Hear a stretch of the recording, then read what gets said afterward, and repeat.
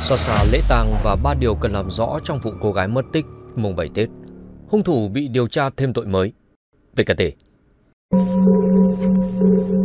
Các bạn đang theo dõi thông tin nóng nhất trên mạng xã hội của PKT. Trưa ngày 20 tháng 2 năm 2024, Thiếu tướng Nguyễn Thanh Tùng, Phó Giám đốc Công an thành phố Hà Nội cho biết, Phòng Cảnh sát hình sự PC02 Công an thành phố Hà Nội vừa ra quyết định khởi tố vụ án, khởi tố bị can đối với Hoàng Minh Hảo. Ngoài ra, Thiếu tướng Tùng cho biết Công an thành phố Hà Nội đang điều tra thêm hành vi hiếp dâm. Đó là thông tin mới nhất liên quan đến vụ án. Tiếng khóc nghẹn ngào trong lễ tang nghèo. Sáng ngày 20 tháng 2, tại quê nhà nạn nhân ở xã Luận Thành, huyện Thường Xuân, tỉnh Thanh Hóa, không khí tang thương bao trùm căn nhà nhỏ. Tết là ngày gia đình sum vầy, nhưng với gia đình Linh là một nỗi đau. Gia đình đã đưa cô gái xấu số về quê nhà để làm tang lễ. Ông Trần Văn Anh, Chủ tịch Ủy ban Nhân dân xã Luận Thành, huyện Thường Xuân, tỉnh Thanh Hóa cho biết, gia đình nạn nhân có hoàn cảnh khó khăn. Mẹ cô gái mất cách đây gần 4 năm. Người bố thường hay đau ốm, không đủ sức gánh vác cả gia đình. Nên nhiều năm nay, Lê Thị Thủy Linh lên Hà Nội để giúp bố nuôi hai em ăn học. Ông Anh nói và cho biết chính quyền sở tại đã tới động viên thăm hỏi gia đình nạn nhân. Hôm 20 tháng 2, gia đình cháu đưa về làm thủ tục hỏa táng. Chị Phạm Thùy, cô họ của nạn nhân cho biết, gia đình đã có mặt tại quê nhà của Linh để lo tang lễ, hậu sự. Bố của Linh thất thần trước linh cữu con gái. Hai em của Linh gào khóc gọi chị. Theo chị Thùy, gia đình Linh thuộc hộ nghèo, hoàn cảnh đặc biệt khó khăn. Bảo Oanh, cô ruột Linh, kể mẹ Linh vừa mới qua đời trong vụ tai nạn cách đây không lâu. Linh mới chỉ học hết lớp 11, sau đó lên Hà Nội để kiếm việc làm. Cháu gái làm quản lý phòng trọ cho thuê, sau khi mẹ mất, Linh xin nghỉ học ra Hà Nội đi làm. Cô gái quyết định chưa có bạn trai, chỉ tập trung vào quản lý nhà trọ. Công việc mang lại cho cô thu nhập cùng mong ước xây được căn nhà mới cho bố và hai em. Bảo Anh đau xót. Vậy mà nhà chưa xây được, gia đình cháu cũng mới vui vầy ăn Tết được mấy ngày thì xảy ra chuyện. Về manh mối phá án, thông tin với báo chí lãnh đạo công an thành phố Hà Nội cho biết, Hào bị công an quận Thanh Xuân bắt giữ liên quan đến hành vi trộm cắp tài sản. Kiểm tra phát hiện chứng minh nhân dân của cô gái đang bị mất tích có trong người của Hào. Sau đó điều tra ra vụ án rúng động trên.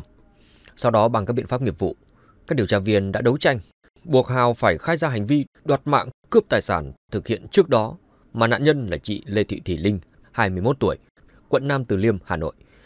Theo vị lãnh đạo, trong vụ án mà chị Linh là nạn nhân, cơ quan chức năng còn điều tra Hoàng Minh Hảo về hành vi hiếp dâm. Trước đó, cơ quan chức năng đã tiếp nhận tin báo của gia đình chị Lê Thị Thủy Linh về việc không thể liên lạc được với cô gái này. Chị Linh rời nhà từ chiều 16 tháng 2. Khi đi cô gái 21 tuổi mặc áo sơ mi trắng, chân váy màu xám, đi xe máy Vision màu đỏ. Đến chiều ngày 19 tháng 2, nạn nhân được tìm thấy tại một nhà trọ ở quận Cầu Giấy, thành phố Hà Nội. Cùng ngày, Công an Hà Nội bắt giữ nghi phạm gây án. Một số người hàng xóm cho biết ngôi nhà 7 tầng trong ngõ mới được xây dựng và đưa vào sử dụng làm căn hộ cho thuê, gọi là chung cư mini. Ngôi nhà chưa được 100 mét vuông, trước đó từng mua bán qua lại nhiều chủ, nhưng chưa chủ nào sử dụng được lâu dài. Trước Tết 1-2 tháng, căn nhà này đi vào hoạt động. Hàng xóm cho biết nạn nhân chính là người quản lý tòa nhà này, trong khi đối tượng là người thuê một phòng tại đây. Theo quan sát, hàng xóm cũng chứng kiến cảnh sát hình sự chở nam thanh niên bịt kín mặt và một cán bộ mang mannequin đến hiện trường. Công tác xác minh điều tra diễn ra trong vài giờ đồng hồ. Đến khoảng 18 giờ 15 phút cùng ngày, nhân viên y tế cùng cảnh sát đưa một thi hài từ trong ngôi nhà đi ra xe cứu thương. Người hàng xóm nói, chúng tôi thấy chùm băng vải đen, nạn nhân nguyên vẹn chứ không như một số thông tin trên mạng xã hội chia sẻ trước đó. Trong một diễn biến liên quan, một nguồn tin tiết lộ bằng các biện pháp nghiệp vụ, ngày 20 tháng 2 năm 2024, cảnh sát bắt được nghi phạm khi đối tượng này đang giữ trong người tấm căn cước công dân của nạn nhân. Từ đó manh mối về cô gái 21 tuổi mất tích từ hôm mùng 7 Tết được phát lộ. Những điều cần làm rõ trong vụ án. Góc nhìn về vụ việc, luật sư Trần Hoàng Vũ, giám đốc công ty luật trách nhiệm hữu hạn AEC, đoàn luật sư thành phố Hà Nội nhìn nhận, trong vụ việc này liên quan đến một số tình tiết đáng chú ý là nạn nhân ra khỏi nhà có mang theo tài sản cá nhân. Cơ quan chức năng sau khi phát hiện ra những điều sau. Một, nạn nhân sẽ tiến hành khám nghiệm để xác định nguyên nhân tử vong và xác định các tài sản trên người nạn nhân. Các tài sản nạn nhân mang theo khi mất tích còn hay không? Có dấu hiệu bị tấn công để chiếm đoạt tài sản hay không? Hiện trường có sự vật lộn xáo trộn hay không? Để xác định động cơ, mục đích thực hiện hành vi phạm tội và dấu vết để lại hiện trường của hung thủ gây án. Theo luật sư Vũ, nạn nhân là nữ còn trẻ tuổi, cần xác định xem trên người nạn nhân có dấu vết bị tấn công, bị giở trò đồi bại hay không, để xác định xem có nguyên nhân là động cơ cũng như dấu hiệu phạm tội về hành vi làm nhục đối với nạn nhân. 3. Một điều cũng đáng chú ý trong vụ việc này là cơ quan chức năng tìm thấy xác nạn nhân ở phòng trong căn hộ chung cư cho một người khác thuê. Luật sư thông tin, với những vụ án có tính chất nghiêm trọng như vậy, thông thường đối tượng gây án sẽ bị xử lý về các tội danh khác nhau. Cơ quan điều tra sẽ làm rõ nguyên nhân sự việc, làm rõ diễn biến các hành vi vi phạm pháp luật của đối tượng gây án, xác định hậu quả gây ra đối với nạn nhân và xã hội để xử lý theo quy định của pháp luật. Luật sư này đánh giá, dù là nguyên nhân nào đi chăng nữa thì hành vi sát hại một cô gái tuổi đời còn quá trẻ là hành vi quá tàn nhẫn, không có tính nhân đạo, thể hiện ý thức coi thường pháp luật và gây đau thương mất mát cho gia đình nạn nhân. Bởi vậy, đối tượng gây án sẽ phải chịu trách nhiệm trước pháp luật. Qua vụ việc trên, luật sư khẳng định có thể nhận thấy hiện nay giới trẻ đang bị ảnh hưởng nghiêm trọng bởi những thông tin nội dung phim ảnh có tính chất man dợ trên mạng xã hội, dẫn đến có những hành vi lệch lạc, trái đạo đức và pháp luật. Đến nay, cơ quan điều tra đã bắt giữ được nghi phạm và đang tiến hành xác minh, điều tra làm rõ nguyên nhân sự việc, làm rõ hành vi và các tình tiết quan trọng có liên quan đến sự việc. Có thể vụ việc có đồng phạm nên cơ quan điều tra chưa công bố thông tin cụ thể của nghi phạm. Hiện tại cơ quan điều tra chỉ công bố thông tin cá nhân nghi phạm. Cơ quan điều tra đang tiếp tục làm rõ nguyên nhân sự việc, làm rõ mối liên hệ giữa nghi phạm gây án với nạn nhân để giải quyết vụ việc theo đúng quy định của pháp luật. Các thông tin liên quan đến vụ việc, vụ án trong giai đoạn xác minh tin báo và trong giai đoạn điều tra vụ án hình sự là những thông tin mật. Tùy vào tính chất của sự việc mà cơ quan điều tra có thể thông báo công khai đến báo chí, dư luận ở mức độ thông tin cần thiết, ở những thời điểm cần thiết. Còn về nguyên tắc là phải đảm bảo bí mật điều tra. Việc cung cấp thông tin, công khai thông tin trong quá trình xác minh không làm ảnh hưởng đến hoạt động điều tra vụ án. Cơ quan điều tra sẽ cân nhắc thông tin công khai về danh tính của hung thủ ở thời điểm cần thiết khi đã xác định rõ hành vi, động cơ, mục đích thực hiện hành vi phạm tội. Về cơ bản đã làm rõ danh tính của các đồng phạm khác. Luật sư khuyến cáo người cho thuê nhà nên có các quy định riêng để đảm bảo an ninh trật tự. Các quy định này cần được công khai rõ ràng với người thuê. Bên cạnh đó cũng phải có các điều khoản xử phạt nếu họ vi phạm. Nên tìm hiểu và chọn lọc khách thuê. Bắt buộc phải đăng ký tạm trú cho tất cả người thuê để tránh rắc rối không đáng có như người thuê có hành vi vi phạm pháp luật. Lộ hình ảnh cuối cùng qua camera và ước mơ sang dở của cô gái mất tích mùng 7 Tết. Không giống như vụ Lương Hải Như mất tích không tìm thấy, cô gái xấu số này bất ngờ được phát hiện tại chính căn chung cư mini mà cô này đang cho thuê. Nhiều nhân chứng ám ảnh kể lại khi cảnh sát tiếp cận căn phòng nơi này sặc mùi dầu gió, trộn với mùi tử khí vô cùng kinh khủng. Dưới đây là những hình ảnh cuối cùng của cô gái trẻ trước khi phát hiện tử vong tại phòng trọ ở Hà Nội. Xót xa ước mơ giang dở. Tối ngày 19 tháng 2, Công an thành phố Hà Nội thông tin vụ án cô gái 21 tuổi mất tích từ mùng 7 Tết. Sau đó nạn nhân được tìm thấy tại một phòng trọ trong tòa nhà chung cư mini khiến nhiều người sửng sốt. Lý lịch của cô gái xinh đẹp này được xác định như sau. Tên thật Lê Thị Thùy Linh, tuổi 21, quê quán phường Mỹ Đình 1, quận Nam Từ Liêm, Hà Nội. Cô gái này được đánh giá là có ngoại hình xinh xắn, ưa nhìn, có nước da trắng bóc, đôi mắt sáng. Nếu không tìm hiểu về gia cảnh, nhiều người cứ ngỡ là một hot girl mới nổi. Thông qua camera của chung cư mini ghi lại, cô gái mặc áo hồng là nạn nhân đang đứng nói chuyện với một thanh niên thấp bé mặc áo xanh tím than. Bên cạnh đó có một người đàn ông mặc áo đen cũng đứng nhìn và có hành động dắt xe đi ra. Một lúc sau thì thấy nạn nhân nói chuyện với thanh niên còn lại, với thanh niên mặc áo. Theo Công an thành phố Hà Nội, sau khi tiếp nhận thông tin của gia đình chị Lê Thị Thùy Linh về việc gia đình không liên lạc được với chị này từ 15 giờ ngày 16 tháng 2 tức mùng 7 Tết Giáp Thìn, Công an thành phố Hà Nội bước đầu xác định đây là vụ án mạng. Căn cứ các tài liệu ban đầu thu thập được, công an đã giả soát xác minh truy tìm chị Linh đến khoảng 12 giờ 30 phút chiều ngày 19 tháng 2. Công an đã bắt giữ đối tượng nghi vấn sát hại chị Linh là HMH, 20 tuổi quê ở Bắc Giang. Căn cứ các tài liệu ban đầu thu thập được, xét tính chất vụ việc, ban giám đốc công an thành phố Hà Nội đã chỉ đạo đăng tải thông tin truy tìm người mất tích trên trang Facebook công an thành phố để hỗ trợ gia đình tìm kiếm, đồng thời chỉ đạo các phòng nghiệp vụ, công an các quận, huyện, thị xã tập trung giả soát, tổ chức xác minh truy tìm Linh. Từ đây kẻ này đã khai ra nơi cất giấu nạn nhân.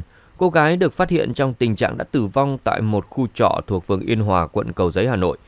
Bất ngờ trên mạng xã hội xuất hiện nhiều thông tin cho rằng cô gái bị nhét trong tủ lạnh hoặc được tìm thấy trong tủ lạnh. Tuy nhiên đến thời điểm này, công an chưa thông tin về câu chuyện này.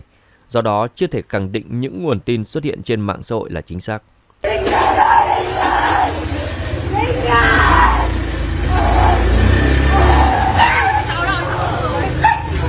Hiện tại, cơ quan công an bước đầu đối tượng đã khai nhận hành vi phạm tội của mình.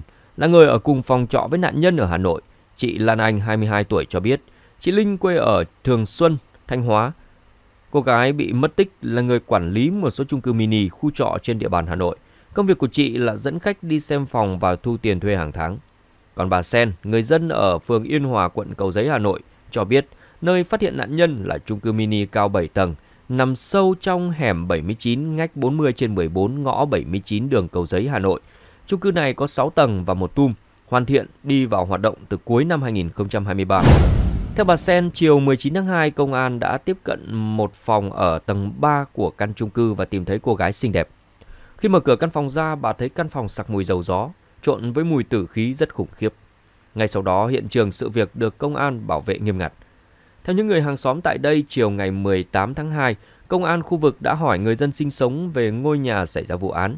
Khi công an hỏi, mọi người nghĩ rằng xảy ra vụ trộm cắp bình thường, không ai nghĩ có một vụ án mạng nghiêm trọng đến như vậy. Quan sát xa khi cô gái còn quá trẻ. Tối muộn 19 tháng 2, nơi xảy ra vụ việc, nhiều người dân khu vực bàng hoàng cho biết chỉ đến khi có lực lượng công an đến hiện trường và lân la hỏi mới biết xảy ra vụ án mạng. Không lâu sau, con hẻm nhỏ trở nên u buồn với những tiếng khóc than của người nhà, bạn bè nạn nhân, khiến ai cũng xót xa thương cảm cho cô gái trẻ. Bà Sen cho hay khi hay tin bà cũng như người dân sinh sống ở khu vực rất bàng hoàng thương xót cho cô gái. Việc cô gái 21 tuổi đã dẫn khách đi xem phòng và thu tiền nhà thuê hàng tháng. Trong khi đó, nhiều người cho hay nghi phạm gây án không phải là người thuê phòng. Hiện trường nơi phát hiện nạn nhân đang được lực lượng chức năng bảo vệ. Chỉ khi người thuê ở tại chung cư mini này mới được vào trong. Xung quanh nhiều người dân hiếu kỳ đứng dõi theo vụ việc. Cụ thể diễn biến sự việc được tóm tắt như sau.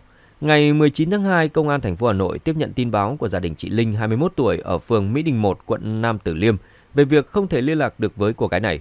Chiều 16 tháng 2, chị Linh rời nhà khi đi cô gái 21 tuổi mặc áo sơ mi trắng, chân váy màu xám, đi xe máy Vision màu đỏ. Đến chiều ngày 19 tháng 2, nạn nhân được tìm thấy tại một nhà trọ ở quận Cầu Giấy, thành phố Hà Nội. Lực lượng chức năng xuất hiện tại chung cư nhưng không thể vào trong do nơi này lắp đặt hệ thống cửa mở khóa bằng vân tay. Sau khi gọi chủ nhà đến, cảnh sát mới tiếp cận một phòng ở tầng 3 và tìm thấy cô gái. Người thân đã đến hiện trường và xót xa khi chứng kiến cảnh tượng đau lòng. Theo chị Lan Anh, ngày 15 tháng 2, tức mùng 6 Tết, chị và chị Linh cùng bắt xe từ Thanh Hóa lên Hà Nội. Lan Anh nói cả đêm không thấy Linh về, vì tính chất công việc của bạn nên mình không có nghĩ ngợi gì. Hôm sau, Linh đi ra ngoài dẫn khách xem phòng và cả đêm không thấy về, không liên lạc được với bạn, nghĩ có chuyện chẳng lành, nên chị Lan Anh đã nhắn tin và gọi hàng chục cuộc điện thoại cho bạn nhưng không thấy hồi âm. Thời điểm trước 19 giờ cùng ngày, gia đình vẫn liên lạc được với nạn nhân. Tuy nhiên, sau 19 giờ, mọi người gọi cho chị Linh chỉ nghe điện thoại thuê bao. Quá trình trích xuất camera, địa điểm cuối cùng nạn nhân Linh đến là tại khu vực nhà trọ cho thuê ở phía Bùi Sương Trạch, quận Thanh Xuân, Hà Nội.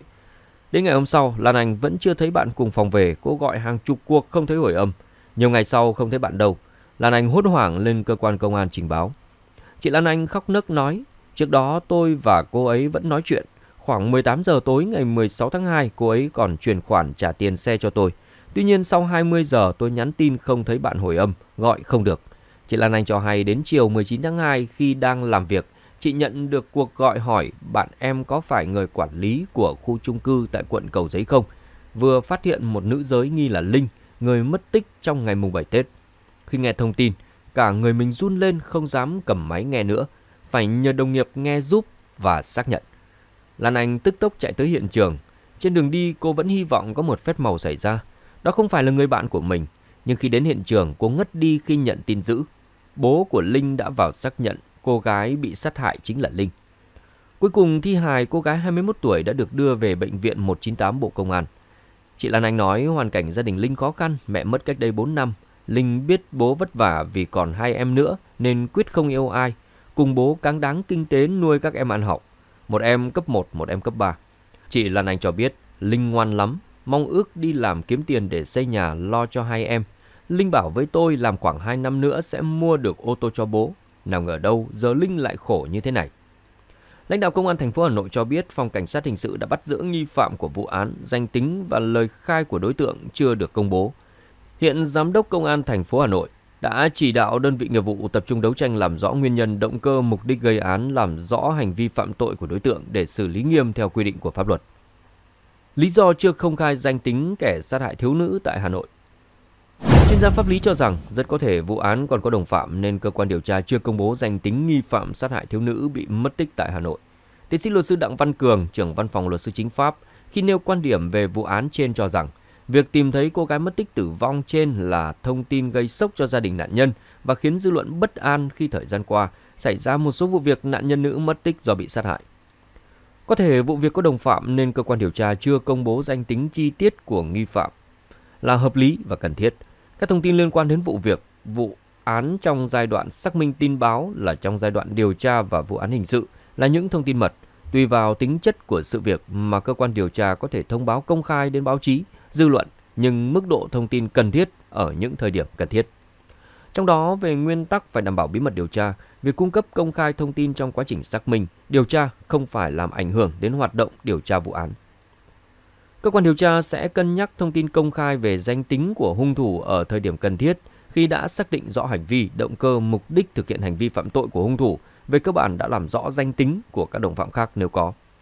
Khi có bản cáo trạng để truy tố đối với các bị can sẽ công khai quan điểm của Viện Kiểm sát và công khai các tình tiết quan trọng về vụ án. Khi xét xử công khai, tất cả các tình tiết trong vụ án sẽ được công khai tại phiên tòa để thực hiện hoạt động tranh tụng theo quy định của pháp luật về tố tụng hình sự. Nếu kết quả khám nghiệm hiện trường, khám nghiệm tử thi và thực hiện các hoạt động tố tụng cho thấy nạn nhân tử vong là do bị sát hại, cơ quan điều tra sẽ khởi tố vụ án hình sự để tiến hành điều tra làm rõ để xử lý theo quy định của pháp luật. Trong vụ án trên, khi phát hiện nạn nhân tử vong, cơ quan điều tra sẽ khoanh vùng xác định hiện trường để tiến hành khám nghiệm hiện trường, thu thập các dấu vết để lại trên hiện trường, các dấu vết trên tử thi và tiến hành khám nghiệm tử thi để xác định nguyên nhân tử vong, thời điểm nạn nhân tử vong. Không loại trừ khả năng nạn nhân bị sát hại ở một nơi khác rồi bị mang dấu xác đi một nơi khác. Bởi vậy, việc xác định hiện trường chính của vụ án nơi nạn nhân tử vong là rất quan trọng để xác định được nguyên nhân tử vong và dựng chân dung hung thủ. Một điều cũng đáng chú ý trong vụ việc này là cơ quan chức năng tìm thấy xác nạn nhân ở phòng trọ của một người khác nên sẽ làm rõ người thuê trọ ở đây là ai, có mối liên hệ gì với nạn nhân, đồng thời sẽ làm rõ khi rời khỏi nhà nạn nhân đã liên lạc với ai qua điện thoại, tin nhắn hoặc qua các nền tảng mạng xã hội. Cơ quan công an sẽ truy tìm điện thoại của nạn nhân, giả soát danh sách điện thoại để xác định các thông tin giữa nạn nhân với những người khác cho đến khi nạn nhân bị sát hại. Việc xác định hiện trường chính của vụ án và những mối liên hệ cuối cùng đối với nạn nhân là những thông tin quan trọng để xây dựng chân dung hung thủ. Hung thủ gây án sẽ phải có động cơ, có thể do mâu thuẫn thủ oán, có thể vì muốn cướp tài sản hoặc muốn hiếp dâm nạn nhân nên đã sát hại nạn nhân. Cũng có thể hung thủ gây án là người mắc bệnh tâm thần hoặc sử dụng rượu bia, chất cấm dẫn đến mất kiểm soát thực hiện hành vi.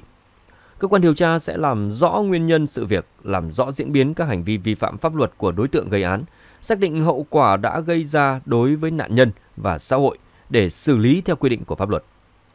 Dù là nguyên nhân nào đi chăng nữa, hành vi sát hại một cô gái tuổi đời còn quá trẻ ở thời điểm Tết âm lịch là hành vi rất tàn nhẫn, thể hiện ý thức coi thường pháp luật và gây đau thương mất mát cho gia đình nạn nhân. Bởi vậy, đối tượng gây án sẽ phải chịu hình phạt nghiêm khắc của pháp luật để gian đe, phòng ngừa chung cho xã hội. Lời khai và gia thế của kẻ sát hại cô gái mùng 7 Tết cướp tài sản chứ không mâu thuẫn tình cảm. Ngày 20 tháng 2, liên quan đến vụ cô gái 21 tuổi được phát hiện tử vong trong một phòng trọ. Mới đây, bước đầu nghi phạm đã có những lời khai đầu tiên khai nhận hành vi phạm tội của mình. Lời khai mới của vụ án Mới đây nhất trên báo Người Lao động có đăng tải bài viết với tiêu đề Lời khai ban đầu của nghi phạm sát hại cô gái xinh đẹp, giấu nạn nhân trong phòng trọ. Trong bài viết, báo này đưa ra một nguồn tin riêng cho rằng có thể nghi phạm gây án với mục đích cướp tài sản, không phải do mâu thuẫn tình cảm. Thiếu tướng Nguyễn Thành Tùng, Phó Giám đốc Công an thành phố Hà Nội cho biết, cơ quan cảnh sát điều tra sáng ngày 20 tháng 2 năm 2024 đã khởi tố vụ án, khởi tố bị can đối với hung thủ được xác định có lý lịch như sau. Tên thật Hoàng Minh Hảo, 20 tuổi, quê quán tổ dân phố Đồng Hai, thị trấn Kép, huyện Lạng Giang, tỉnh Bắc Giang. Điều tra về hành vi đoạt mạng người và cướp tài sản. Theo Thiếu tướng Nguyễn Thanh Tùng, nghi phạm sát hại cô gái nhằm cướp tài sản không liên quan đến chuyện tình cảm. Theo nguồn tin bước đầu qua lời khai của Hào và các tài liệu chứng cứ thu thập được, cơ quan chức năng xác định nghi phạm đã sát hại chị Lê Thị Thùy Linh 21 tuổi trú tại phường Mỹ Đình 1, quận Nam Từ Liêm, Hà Nội, tại nhà trọ thuộc phường Yên Hòa, quận Cầu Giấy và cướp tài sản của nạn nhân, trong đó có một chiếc xe máy. Trước đó, Công an thành phố Hà Nội tiếp nhận thông tin từ người thân trình báo chị Linh mất tích, không liên lạc được từ hôm 16 tháng 2 tức mùng 7 Tết Giáp Thìn. Theo thông tin gia đình cung cấp, thời điểm đó chị Linh mặc áo sơ mi trắng, chân váy màu xám, đi xe máy Honda Vision màu đỏ. Căn cứ các tài liệu ban đầu thu được, xét tính chất vụ việc, Giám đốc Công an thành phố Hà Nội đã chỉ đạo đăng tải thông tin truy tìm người mất tích trên trang Facebook Công an thành phố để hỗ trợ gia đình tìm kiếm, đồng thời chỉ đạo các phòng nghiệp vụ, công an các quận, huyện, thị xã tập trung giả soát tổ chức xác minh tìm kiếm chị Linh. Đến khoảng 12 giờ 30 phút ngày 19 tháng 2, bằng các biện pháp nghiệp vụ, lực lượng chức năng công an thành phố Hà Nội đã bắt giữ nghi phạm Hoàng Minh Hảo và phát hiện nạn nhân là chị Linh tại một khu trọ thuộc phường Yên Hòa, quận Cầu Giấy. Tại cơ quan công an, bước đầu đối tượng đã khai nhận hành vi phạm tội của mình. Hiện nguyên nhân vụ việc đang tiếp tục được điều tra làm rõ. Tại ngôi nhà 6 tầng trong ngõ 79 Cầu Giấy, hiện được chia phòng cho thuê như một chung cư mini. Bên trong chỉ có một vài chiếc xe máy và cánh cửa đóng kín. Nạn nhân được phát hiện tại tầng 3 căn nhà. Nhiều người dân khu vực cho biết tối muộn hôm qua sau khi lực lượng chức năng hoàn tất công việc khám nghiệm hiện trường, nhiều người thuê trọ cũng mang theo đồ rời đi.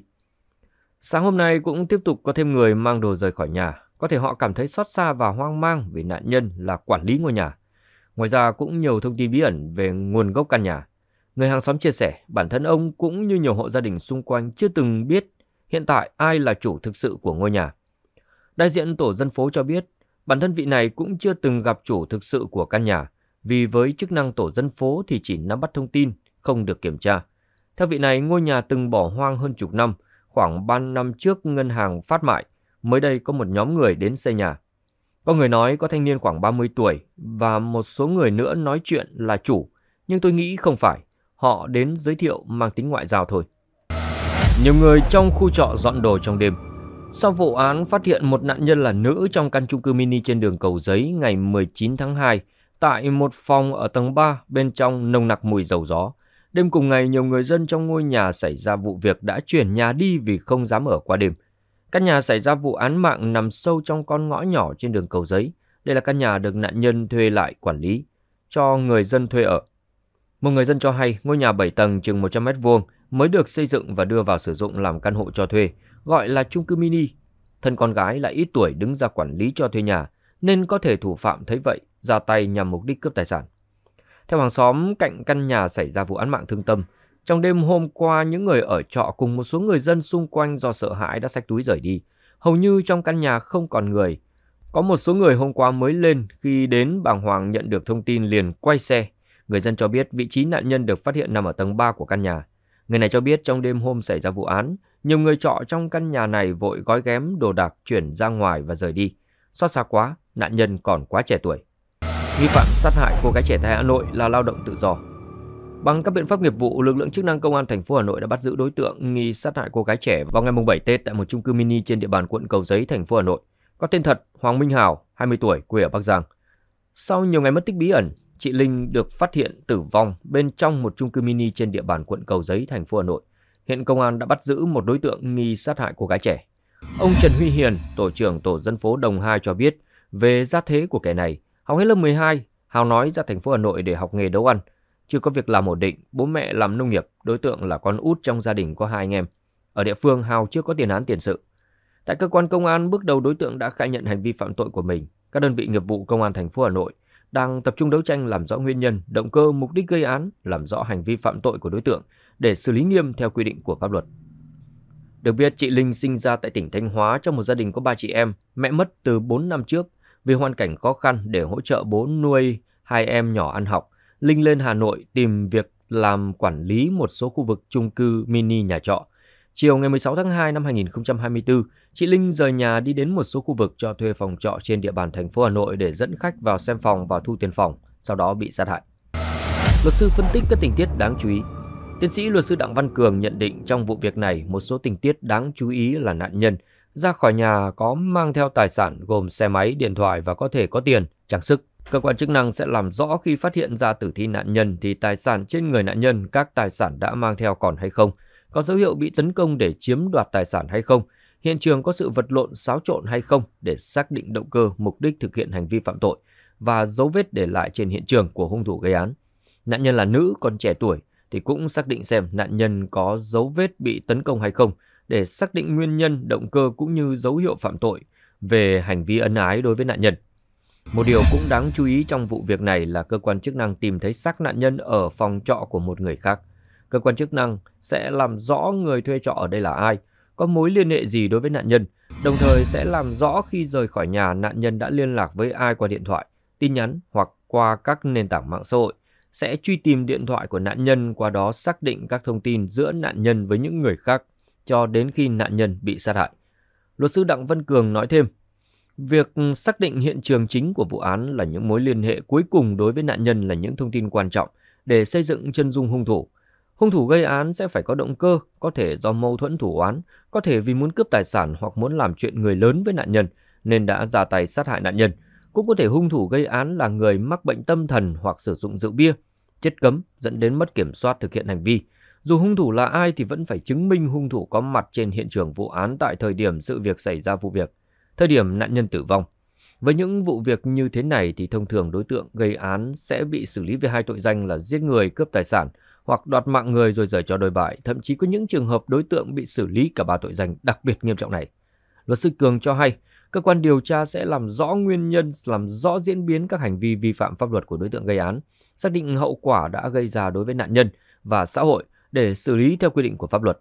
Dù là nguyên nhân nào đi chăng nữa thì hành vi sát hại một cô gái tuổi đời còn quá trẻ là hành vi rất tàn nhẫn, thể hiện ý thức coi thường pháp luật và gây đau thương mất mát cho gia đình nạn nhân.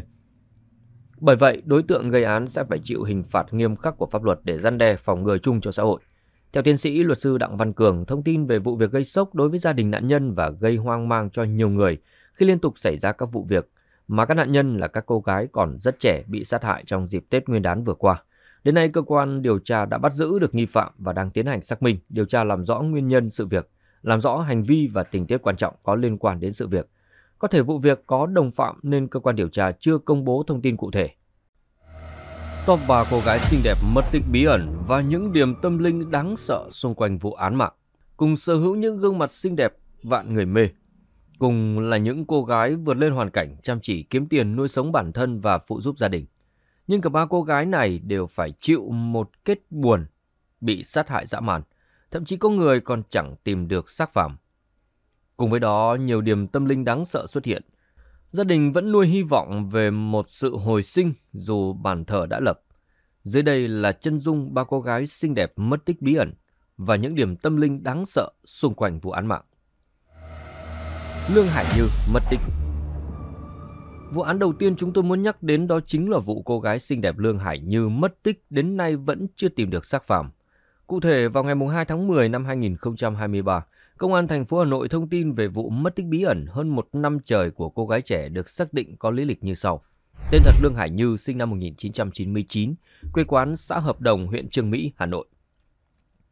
Theo đó, Công an thành phố Hà Nội đã ra quyết định truy tìm Hải Như, gửi Cục Cảnh sát Hình sự Bộ Công an, Công an các tỉnh, thành phố và các đơn vị thuộc Công an thành phố Hà Nội. Cơ quan Cảnh sát điều tra đã tiến hành nhiều biện pháp nghiệp vụ, cụ thể như lấy lời khai của một số người thân của Hải Như, xác định tối ngày 14 tháng 7 năm 2022, Như hẹn gặp bạn trai được xác định có lý lịch như sau. Tên thật Tống Nguyên Tiến sinh năm 1997. Hai người hẹn nhau để giải quyết việc nợ nần, nhưng sau đó gia đình không liên lạc được với cô gái này. Về phía Tống Nguyên Tiến, lực lượng chức năng xác định khoảng 19 giờ cùng ngày Tiến về quê, đến 4 giờ ngày 15 tháng 7 năm 2022, Tiến quay lại phòng trọ, có nhiều biểu hiện bất thường về tâm lý, rồi đi ra ngoài nên các bạn cùng phòng trọ đã đi tìm. Sau đó nam thanh niên này đã tử vong. Sau đây chúng tôi xin phép được tóm tắt vụ cô gái xinh đẹp Lương Hải Như mất tích như sau. 20 giờ ngày 14 tháng 7 năm 2023, Hải Như rời khỏi phòng trọ ở phố Thái Tịnh, quận Đống Đa, Hà Nội. 21 giờ ngày 14 tháng 7 năm 2023, gia đình không thể liên lạc được với cô nên đã trình báo cơ quan chức năng. Theo định vị từ điện thoại, Hải Như đã di chuyển từ xã Tiên Phương, huyện Trương Mỹ sang khu vực cầu Cù Sơn, huyện Hoài Đức. Ngày 15 tháng 7 năm 2023, người thân của Hải Như nhận được thông tin TNT, bạn trai của Hải Như, tự tử tại một phòng trọ ở quận Cầu Giấy. Hơn một tuần sau đó, bạn của người yêu cũ Hải Như gọi điện cho người nhà cô để thông báo vị trí xe máy và điện thoại của Như đang nằm ở bãi gửi xe phố Tu Mỡ, quận Cầu Giấy, gần phòng trọ của người yêu cũ Hải Như.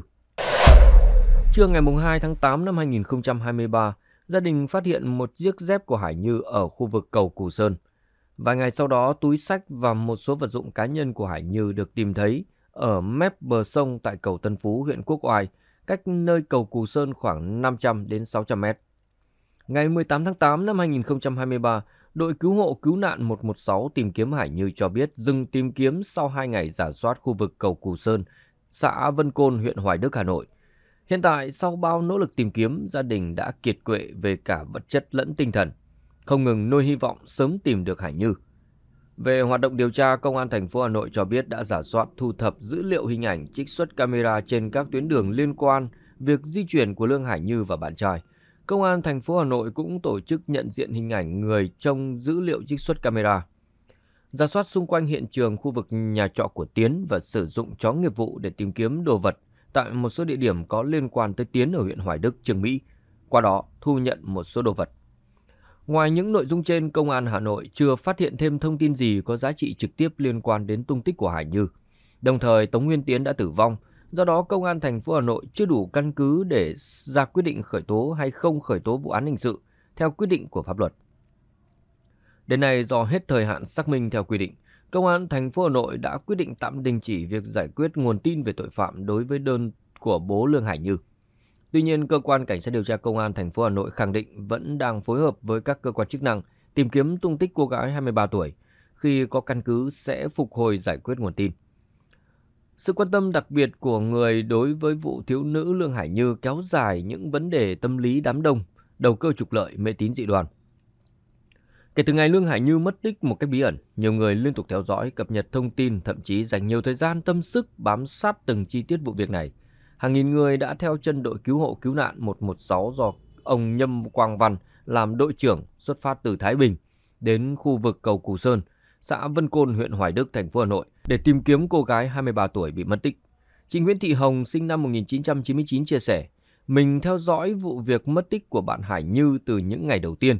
Ngày nào mình cũng dành thời gian cập nhật tin tức và đến tận nơi những địa điểm được cho là nghi vấn tìm thấy Hải Như. Mình cho rằng sự mất tích của cô bạn này có rất nhiều bí ẩn và uẩn khúc. Chừng nào còn chưa tìm thấy thi thể nạn nhân thì chừng ấy mình vẫn có niềm tin là bạn ấy còn sống. Nếu chẳng may Hải Như không còn trên cõi đời này nữa thì mình hy vọng gia đình sẽ sớm tìm thấy thi hài bạn. Trước hiện tượng tương đối đặc biệt này, nhiều cô đồng, cô cốt, thầy cúng không được gia đình nạn nhân thuê mướn đã đến hiện trường và tiến hành những thủ tục tâm linh như gọi hồn lập đàn cúng tế cầu khấn sau đó họ live stream để đưa ra những ý kiến phán quyết của họ về cô gái này. Có người cho rằng mỗi cô đồng thể hiện vong nhập, vong ốp một cách khác nhau. Họ chỉ trỏ hàng trăm điểm vu vơ trên con sông đáy. Thậm chí nửa đêm cũng có những cuộc điện thoại gọi đến lực lượng cứu hộ và gia đình Hải Như nói vong báo mộng vị trí và yêu cầu tới đó tìm kiếm. Cũng có người đồng tình nói, thực tế là hàng trăm cô đồng thầy cúng chỉ làm tình hình trở nên rối ren phức tạp. Không một ai có thể tập trung nếu cứ nghe các cô đồng phán. Công an ở quanh đây phải rất vất vả để dẹp nạn các cô đồng này.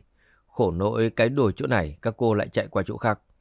Thực ra tất cả những ý kiến, nghi lễ, thủ tục tự phát của họ hoàn toàn không có giá trị về mặt pháp lý, cũng như về mặt văn hóa. Điều này chỉ phục vụ cho kênh tâm linh của họ. Song những điều tâm linh đó có thể không được trong sạch và ẩn chứa ý nghĩ vụ lợi. Lúc này, người dân, đặc biệt là gia đình nạn nhân cần hết sức tỉnh táo khi tiếp cận thông tin trên mạng xã hội. Mọi người nên lắng nghe và theo dõi tin tức của Đài truyền hình Việt Nam hoặc những kênh báo chí truyền thông chính thống của nhà nước để nắm bắt thông tin, theo dõi sự kiện và xử lý tình huống. Đối với những hiện tượng mang tính chất tâm linh, cộng đồng mạng không nên xa đà để tránh mắc bẫy của những người làm ăn bất chính trong lĩnh vực truyền thông trên mạng. Điều tra vụ cô gái mất tích 6 ngày trước Tết. Cô gái 25 tuổi sau buổi làm cuối cùng tại công ty chuẩn bị đồ đạc về Đồng Nai ăn Tết thì mất tích. Gia đình mất liên lạc với cô từ đó cho đến nay. Hiện công an thành phố Thủ Đức, thành phố Hồ Chí Minh đang điều tra tìm kiếm. Ngày 13 tháng 2 năm 2024, cơ quan cảnh sát điều tra công an thành phố Thủ Đức vẫn đang phối hợp cùng các đơn vị liên quan điều tra tìm kiếm cô gái được xác định có lý lịch như sau: tên thật VTT, tuổi 25, quê quán tỉnh Đồng Nai, nơi trọ đường Quang Trung, phường Tăng Nhơn, Phú B. Người thân đã không thể liên lạc với cô gái mất tích 6 ngày này. Trước đó, Công an phường Tăng Nhân Phú B tiếp nhận trình báo từ người thân của chị T về việc gia đình không thể liên lạc được với chị từ ngày 8 tháng 2 tức ngày 29 Tết. Cho đến nay, Công an phường đã lập hồ sơ vụ việc sau đó chuyển lên Công an thành phố Thủ Đức tiếp nhận điều tra. Theo người nhà của chị T, mọi người không thể liên lạc được với chị khi chị vừa tan làm buổi cuối tại công ty chuẩn bị về Đồng Nai ăn Tết. Cũng theo người nhà chị T, chị ở trọ cùng với anh T, người yêu chị.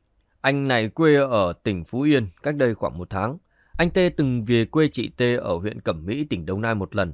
Mấy hôm nay anh Tê cũng liên tục hỏi thăm, trao đổi tin tức về chị Tê với gia đình. Trước đó, ngày 8 tháng 2, chị Tê sau giờ làm cuối cùng ở công ty trách nhiệm hữu hạn Quas Phong Phú, phường Tăng Nhân Phú B, nhắn tin với người thân rằng mình chuẩn bị về huyện Cẩm Mỹ, tỉnh Đồng Nai để ăn Tết. Tuy nhiên, cha mẹ chị Tê chờ mãi không thấy con về. Sau đó, gia đình cũng mất liên lạc với chị. Ngay trong buổi tối đó, gia đình chị Tê đã đăng thông tin lên mạng xã hội Facebook tìm người mất tích nhưng cũng không nhận được manh mối nào.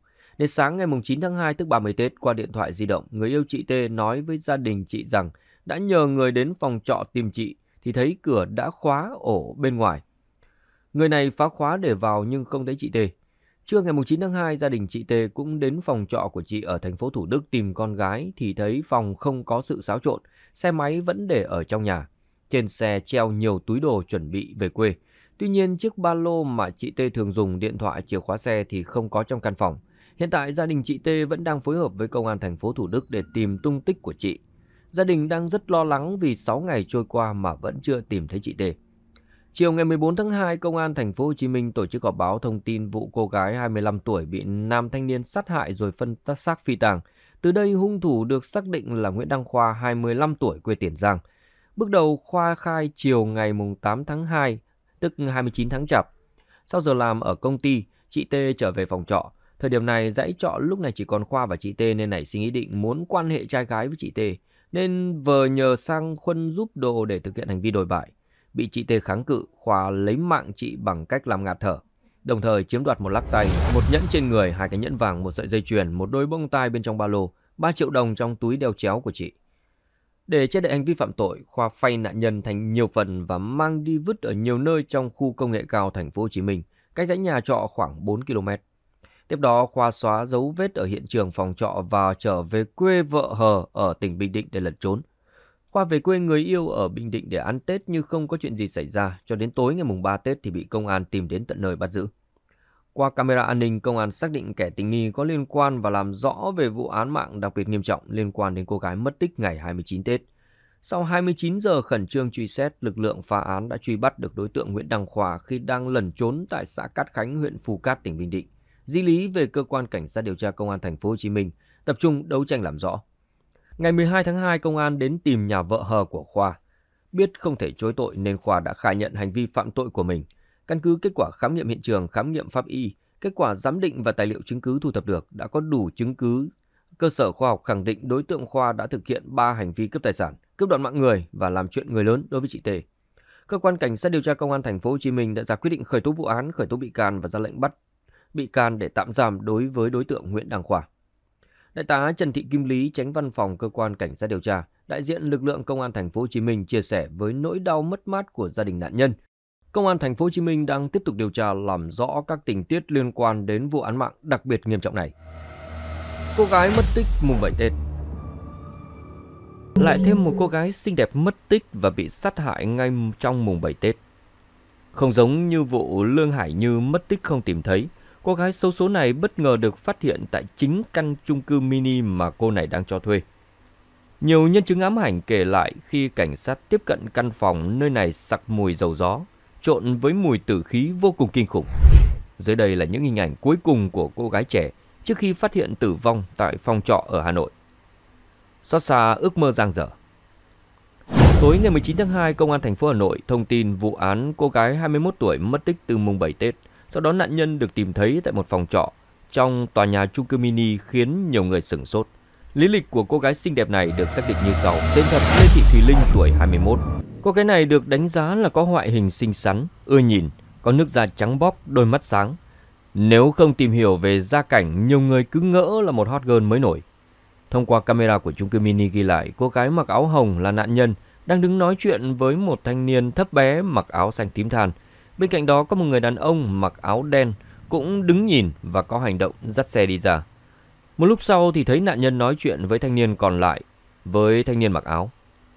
Theo Công an thành phố Hà Nội, sau khi tiếp nhận thông tin của gia đình chị Lê Thị Thùy Linh về việc gia đình không liên lạc được với chị này từ 15 giờ ngày 16 tháng 2 tức mùng 7 Tết Giáp Thìn, Công an thành phố Hà Nội bước đầu xác định đây là vụ án mạng.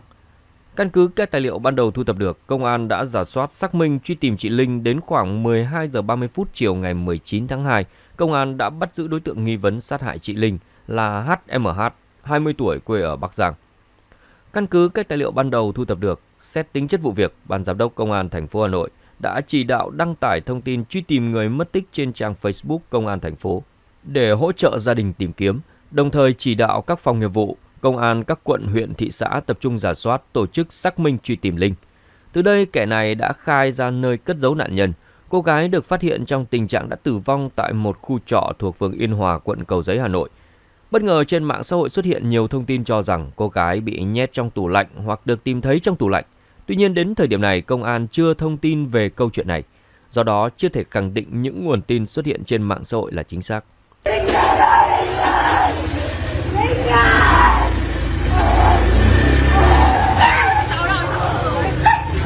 Hiện tại, cơ quan công an bước đầu đối tượng đã khai nhận hành vi phạm tội của mình.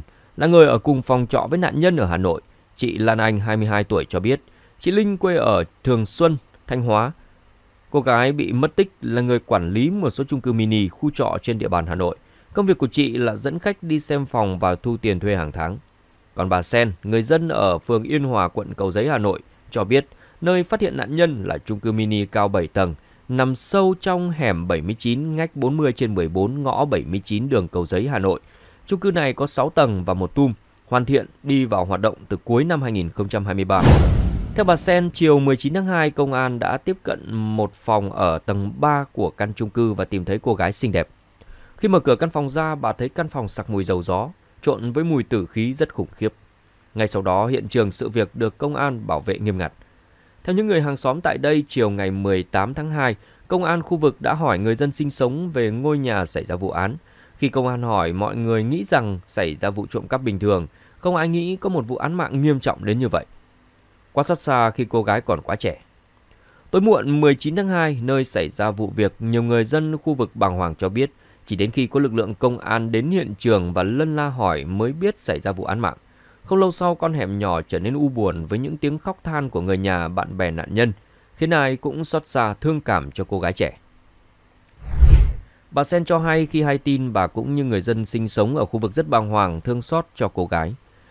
Việc cô gái 21 tuổi ừ, đã dẫn khách đi xem phòng và thu tiền nhà thuê hàng tháng. Trong khi đó, nhiều người cho hay nghi phạm gây án không phải là người thuê phòng. Hiện trường nơi phát hiện nạn nhân đang được lực lượng chức năng bảo vệ chỉ khi người thuê ở tại chung cư mini này mới được vào trong. Xung quanh nhiều người dân hiếu kỳ đứng dõi theo vụ việc. Cụ thể diễn biến sự việc được tóm tắt như sau. Ngày 19 tháng 2, Công an thành phố Hà Nội tiếp nhận tin báo của gia đình chị Linh 21 tuổi ở phường Mỹ Đình 1, quận Nam Tử Liêm về việc không thể liên lạc được với cô gái này. Chiều 16 tháng 2, chị Linh rời nhà khi đi cô gái 21 tuổi mặc áo sơ mi trắng, chân váy màu xám, đi xe máy Vision màu đỏ.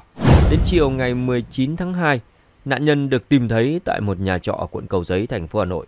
Lực lượng chức năng xuất hiện tại chung cư nhưng không thể vào trong do nơi này lắp đặt hệ thống cửa mở khóa bằng vân tay. Sau khi gọi chủ nhà đến, cảnh sát mới tiếp cận một phòng ở tầng 3 và tìm thấy cô gái.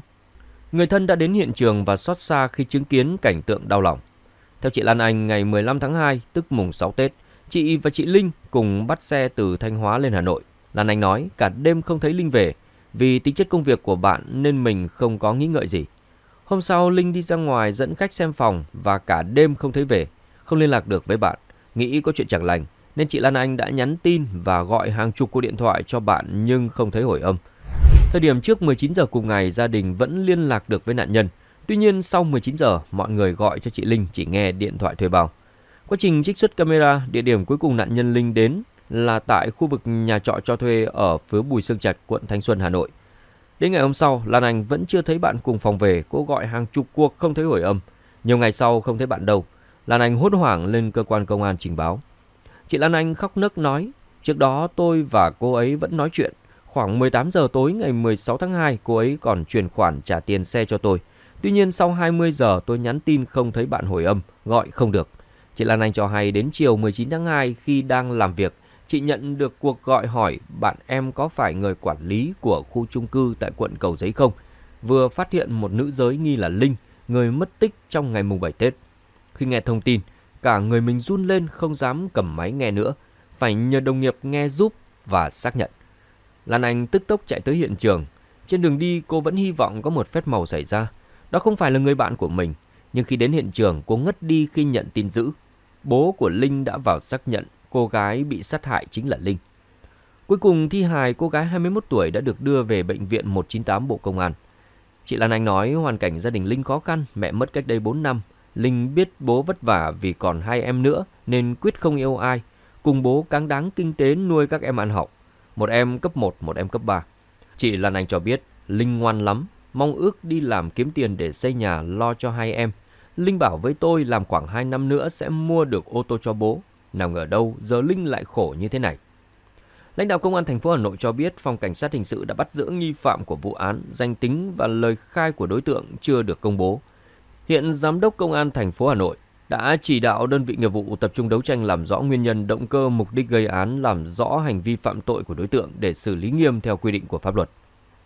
Lý do chưa công khai danh tính kẻ sát hại thiếu nữ tại Hà Nội. Chuyên gia pháp lý cho rằng rất có thể vụ án còn có đồng phạm nên cơ quan điều tra chưa công bố danh tính nghi phạm sát hại thiếu nữ bị mất tích tại Hà Nội. Tiến sĩ luật sư Đặng Văn Cường, trưởng văn phòng luật sư chính pháp, khi nêu quan điểm về vụ án trên cho rằng việc tìm thấy cô gái mất tích tử vong trên là thông tin gây sốc cho gia đình nạn nhân và khiến dư luận bất an khi thời gian qua xảy ra một số vụ việc nạn nhân nữ mất tích do bị sát hại. Có thể vụ việc có đồng phạm nên cơ quan điều tra chưa công bố danh tính chi tiết của nghi phạm là hợp lý và cần thiết. Các thông tin liên quan đến vụ việc, vụ án trong giai đoạn xác minh tin báo là trong giai đoạn điều tra và vụ án hình sự là những thông tin mật, tùy vào tính chất của sự việc mà cơ quan điều tra có thể thông báo công khai đến báo chí, dư luận, nhưng mức độ thông tin cần thiết ở những thời điểm cần thiết. Trong đó, về nguyên tắc phải đảm bảo bí mật điều tra, việc cung cấp công khai thông tin trong quá trình xác minh, điều tra không phải làm ảnh hưởng đến hoạt động điều tra vụ án. Cơ quan điều tra sẽ cân nhắc thông tin công khai về danh tính của hung thủ ở thời điểm cần thiết khi đã xác định rõ hành vi, động cơ, mục đích thực hiện hành vi phạm tội của hung thủ, về cơ bản đã làm rõ danh tính của các đồng phạm khác nếu có. Khi có bản cáo trạng để truy tố đối với các bị can sẽ công khai quan điểm của Viện Kiểm sát và công khai các tình tiết quan trọng về vụ án. Khi xét xử công khai, tất cả các tình tiết trong vụ án sẽ được công khai tại phiên tòa để thực hiện hoạt động tranh tụng theo quy định của pháp luật về tố tụng hình sự. Nếu kết quả khám nghiệm hiện trường, khám nghiệm tử thi và thực hiện các hoạt động tố tụng cho thấy nạn nhân tử vong là do bị sát hại, cơ quan điều tra sẽ khởi tố vụ án hình sự để tiến hành điều tra làm rõ để xử lý theo quy định của pháp luật. Trong vụ án trên, khi phát hiện nạn nhân tử vong, cơ quan điều tra sẽ khoanh vùng xác định hiện trường để tiến hành khám nghiệm hiện trường, thu thập các dấu vết để lại trên hiện trường, các dấu vết trên tử thi và tiến hành khám nghiệm tử thi để xác định nguyên nhân tử vong, thời điểm nạn nhân tử vong. Không loại trừ khả năng nạn nhân bị sát hại ở một nơi khác rồi bị mang dấu xác đi một nơi khác. Bởi vậy, việc xác định hiện trường chính của vụ án nơi nạn nhân tử vong là rất quan trọng để xác định được nguyên nhân tử vong và dựng chân dung hung thủ. Một điều cũng đáng chú ý trong vụ việc này là cơ quan chức năng tìm thấy xác nạn nhân ở phòng trọ của một người khác nên sẽ làm rõ người thuê trọ ở đây là ai, có mối liên hệ gì với nạn nhân, đồng thời sẽ làm rõ khi rời khỏi nhà nạn nhân đã liên lạc với ai qua điện thoại tin nhắn hoặc qua các nền tảng mạng xã hội. Cơ quan công an sẽ truy tìm điện thoại của nạn nhân, giả soát danh sách điện thoại để xác định các thông tin giữa nạn nhân với những người khác cho đến khi nạn nhân bị sát hại. Việc xác định hiện trường chính của vụ án và những mối liên hệ cuối cùng đối với nạn nhân là những thông tin quan trọng để xây dựng chân dung hung thủ. Hung thủ gây án sẽ phải có động cơ, có thể do mâu thuẫn thủ oán, có thể vì muốn cướp tài sản hoặc muốn hiếp dâm nạn nhân nên đã sát hại nạn nhân. Cũng có thể hung thủ gây án là người mắc bệnh tâm thần hoặc sử dụng rượu bia, chất cấm dẫn đến mất kiểm soát thực hiện hành vi. Cơ quan điều tra sẽ làm rõ nguyên nhân sự việc, làm rõ diễn biến các hành vi vi phạm pháp luật của đối tượng gây án, xác định hậu quả đã gây ra đối với nạn nhân và xã hội để xử lý theo quy định của pháp luật. Dù là nguyên nhân nào đi chăng nữa, hành vi sát hại một cô gái tuổi đời còn quá trẻ ở thời điểm Tết âm lịch là hành vi rất tàn nhẫn. Vâng thưa quý vị và các bạn, đến thời điểm này, ba cô gái xinh đẹp này người đã lìa cõi dương, người vẫn chưa biết sống hay vất vưởng xó nào. Chỉ biết những câu chuyện và điểm tâm linh ấy cứ bám theo những người còn ở lại cõi trần. Người mất tích chưa tìm ra câu hỏi, sẽ ngày ngày đi tìm kiếm. Còn với người đã khuất, nỗi đau sẽ chẳng thể nguôi ngoai khi thấy đứa con gái bị đối xử lạnh lùng. Bạn muốn VKT làm về tiểu sử giang hồ, tử tù hay người nổi tiếng nào? Cùng để lại bình luận bên dưới. Cảm ơn các bạn đã quan tâm theo dõi. Ấn đăng ký và like để xem tiểu sử giang hồ, tử tù, người nổi tiếng mỗi ngày trên VKT.